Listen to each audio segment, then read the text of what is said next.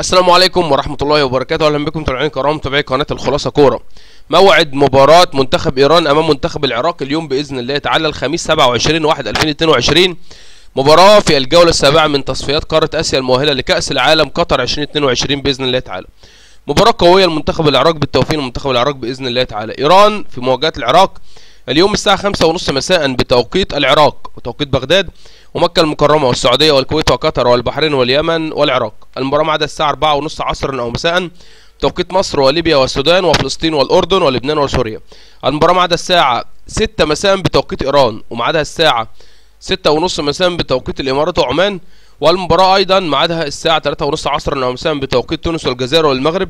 والساعة اتنين ونص ظهرا أو مساء بتوقيت جرينتش وموريتانيا. القناة الناقلة للمباراة. أكتر من قناة. قناة أبو ظبي آسيا الثانية ومعلق المباراة حازم عبد السلام وقناة إس إس سي سبورت عذرا 6 HD ومعلق المباراة جعفر الصليح وقناة الرابعة العراقية ومعلق المباراة محمد قيس. ويوتيوب الاتحاد الآسيوي وملعب المباراة ملعب أزادي دور المجموعات الجولة السابعة من تصفيات آسيا المؤهلة لكأس العالم. اشترك في القناة وفعل زر الجرس عشان الفيديو. كان معكم محمد نور الدين بالتوفيق لمنتخب العراق. والسلام عليكم ورحمة الله وبركاته.